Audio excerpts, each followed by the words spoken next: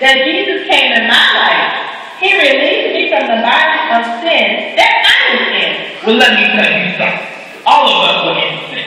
And God gave us an opportunity to choose Him over sin. That's why He got up early.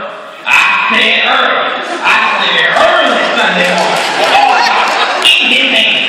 Yes, sir, yes, sir, yes, sir. Pastor Joshua, are you okay? Yes, you know me. I don't need no rock crying out for me. Young lady, I grew up in Houston's third ward. Ooh, it was not in Houston.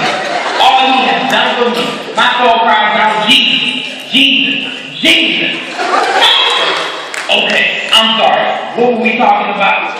Well, Pastor Josh, when you preached that sermon on John 8:36, which says, "So if the Son sets you free, you will be free indeed," that just opened my eyes and changed my life. Yes, I remember that sermon. The title was Set Me Free. That is the day I joined church, and the chains of sin felt as if they just dropped off of me. The way God would have had it. That day, Victor had the quiet thing the song called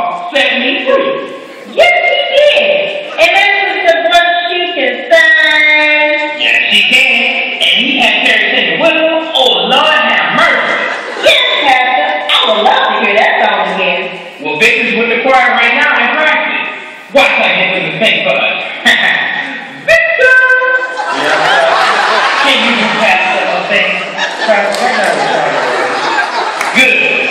Can you have them sing Set Me Free? We were just talking about how good.